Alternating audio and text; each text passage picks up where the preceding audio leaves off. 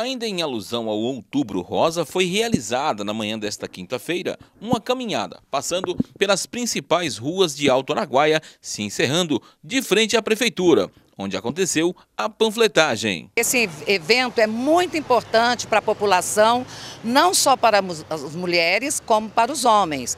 Porque nós ah, sempre acredita-se que câncer de mama é só em mulheres, mas em homens também.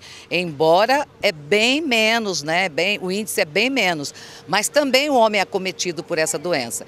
E hoje nós fizemos o dia D, com uma caminhada que é muito importante, a caminhada da prevenção. Porque a prevenção, um diagnóstico precoce, ele pode levar à cura. Então é isso que todos nós mulheres temos que entender e os homens, né, compartilhando esse momento conosco.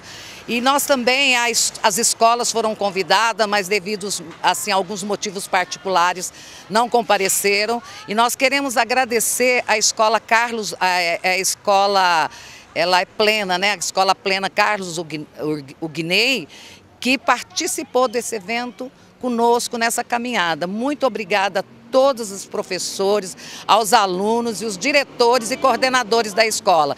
Sempre que nós precisamos, eles, está, eles estão conosco nessa caminhada. Então é um dia importante que a população entenda que a saúde está preocupada com essa situação das mulheres. E nós temos percebido que o índice de câncer de mama tem aumentado significantemente, não só no país. Nós somos um município de pequeno porte, porém temos vários casos bem em evidência. E é importante salientar que não é só o mês de outubro, nós temos que fazer essa campanha, entender que a prevenção é de janeiro a dezembro. Nós temos que estar imbuídos disso. E como todos nós somos agentes multiplicadores de informação, hoje o que nós apresentamos no nosso município é para que todos se imbuam que a prevenção é importante e que a prevenção é a vida. Além da caminhada, tem outras programações para esse dia?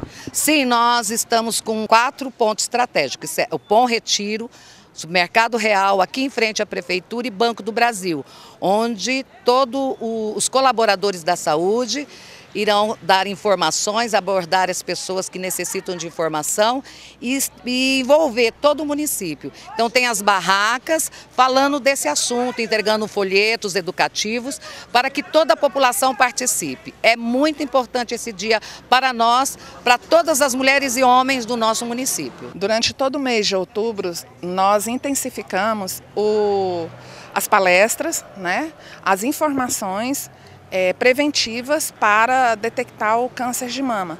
Nós, desde o início do mês, estamos aí com palestras, tivemos palestras na Câmara, na Câmara Municipal.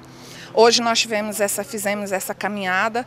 É, eu quero primeiramente agradecer à Escola Carlos do Guinei, que sempre está junto, sempre que a gente chama eles para qualquer é, evento, né, palestras e caminhada, eles estão juntos, os professores que acompanharam os alunos lá da escola Carlos Uquinei, agradecer ao prefeito Gustavo, que nos dá apoio em todas as nossas ações né, do Outubro Rosa, e dizer que não é só no mês de outubro que a gente tem que se cuidar e se prevenir contra o câncer de mama. O câncer de mama está cada vez acometendo mais mulheres, na verdade, não é só em mulheres que dá, existe também o homens, 4% da população de câncer de mama é nos homens.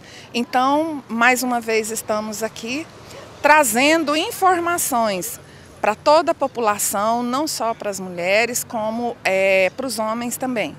E agora nós vamos ficar, nós temos três, vamos é, já montamos três barracas para fazer os pontos de distribuição de panfletos e de informação.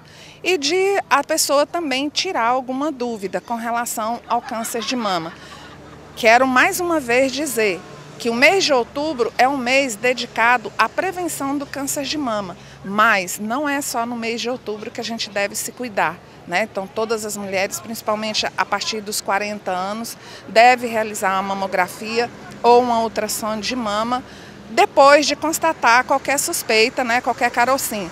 E hoje nós estamos nesses pontos para levar informação para todas as pessoas que queiram né? e que precisam ou que não tem alguma dúvida com relação a essa doença, a gente poder dar informação. Polícia Militar estamos aí fazendo a segurança aí das pessoas, onde a escola está fazendo um grande evento, né? É, a campanha aí, e que as pessoas possam né, conscientizar e fazer é, os exames certinho aí e regular. O trabalho da Polícia Militar aqui foi apenas de prevenção.